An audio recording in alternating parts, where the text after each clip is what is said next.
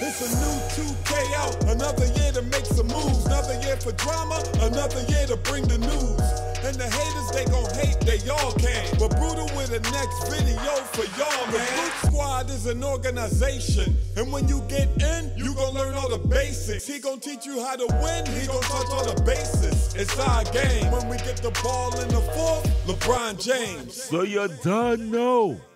Your boy Brutal Sim on the scene, wicked and mean, with a next video for y'all, man. So y'all know what it is by now. Take some time out, bless up your boy, like up the video. Definitely help the channel out because you know we're gonna always keep you up to date on everything in the 2K community. I know we gotta start the video off the right way by giving a huge shout out to the Brute Squad. Anyone y'all got the notification bell unlocked, come to the comment section type first, second, third, know the gang of Brute Squad. I gotta put y'all up there just to show y'all some love, y'all. Much love, much respect. Now, Mike Wang is alive again and responding and answering some questions. And we always appreciate these moments when the 2K dev could take some time to respond and teach us about the game or what's under the hood of their current titles. Now I see that I could talk some trash. But anyways, anyways, anyways. Now, he started off with this question right here because I think he responded to two questions specifically. One talking about shot timing and the next one talking about the randomness of that green bar sometimes. I see a lot of people be missing that bar and they're still getting the green, and that thing has. Anyways, anyways, let's get to the question. I'll start off right here with this person. His name is Aaron 2K, aka Idiot. Now, I ain't gonna front with you, my G. That's probably the best name in the 2K community. In fact, I think a lot of people should put AKA idiot at the end of the name in this community, but we're not going to get into that right now. Let's get to the question. He said, Question on shot timing. We all know our shot slows when stamina gets lowered. We also know that shot speeds up uncontested. How does that work when your stamina is low when shooting contested shots? Does it speed up the slower shot? Trying to understand, and my point response for that is yeah, they are more or less cancel each other out.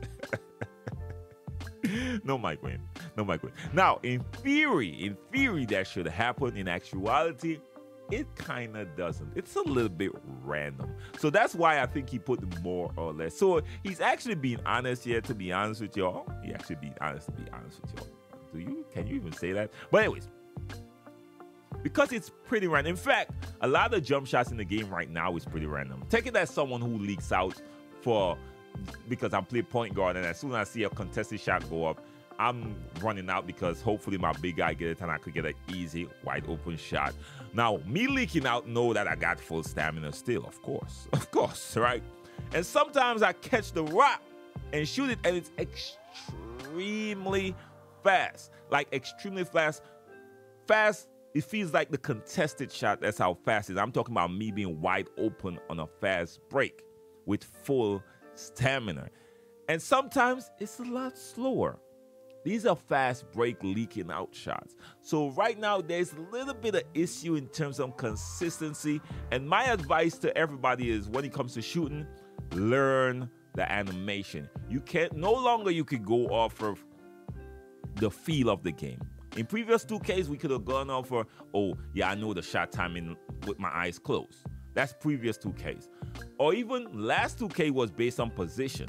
So if you took a shot in a corner, it was a certain speed. If you took shot deep range, it was a certain speed. If you took a midi shot, it was a certain speed. So even then, you could still know based on your position. You could know that you, you could go by muscle memory. But this 2K, no mu- muscle memory. You cannot go off for any muscle memory. You got to be eye on the game all the time. So that's why I had to change all of my animations to my all my shots right now at this elbow. When this elbow bend right here and my hand reach my face, release it.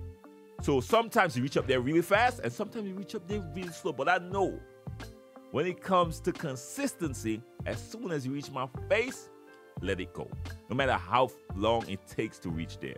And that's why I recommend for people going forward in terms of improving your jump shot consistency. In games that I really lock in in because I stream a lot, right? So when I'm really locked in and my eyes on the game and locked in and not on the stream, I start, bro, I could barely miss. When I'm halfway in the stream and talking and doing all type of stuff, that's when I'm shooting low percent. And those are usually like when we played against like people that are not necessarily that good.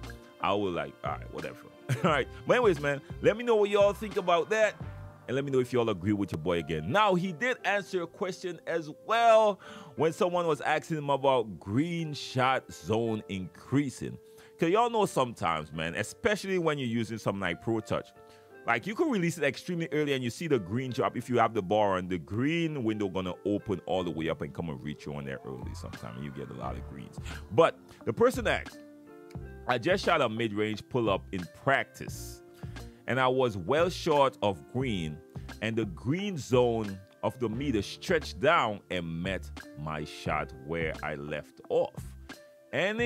Anyone know why it is? And Mike Wang responded and said, Shot windows are dynamic and consistently updating until the ball actually leaves the shooter's hand.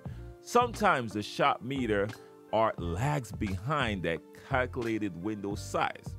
That's why it can look like you stopped the bar in the green window, but it can miss or stop outside of it and still get a green release. Now, my advice is always learn the animations, bro. At the end of the day, in this 2K, you can't even go by the bar unless you got that cheating device that we spoke about what in Lens last week. That's the only way I would recommend you do something like that, to be honest with you. And I don't recommend you cheating, by the way. You cannot go by the bar. I know how people go by the bar because the bar is so random, bro. I'll be watching people shoot with that bar, and they'll be snapping a miss and still getting greens with certain bars, especially the default shooting bar. So he's basically saying, yo, it might you you might show you hit it and you just miss, or it might show you miss and you hit it. It's kind of random. That's what I'm reading into this, of course.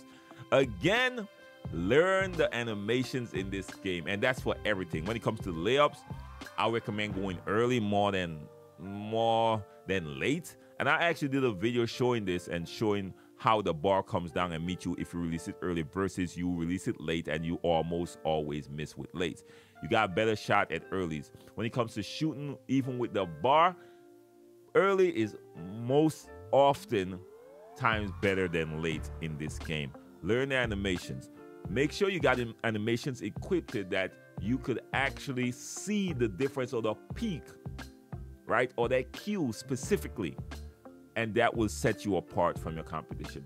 But anyways, y'all, that's all I got for y'all. Let me know what y'all think about these responses from Mike Wang. And did it make y'all understand the shooting system a little bit more? Put it in the comment section. Me personally, animations is the way and learn your animations, man. Trust me. Hope that's one. Till next time, be safe out there, y'all. Peace.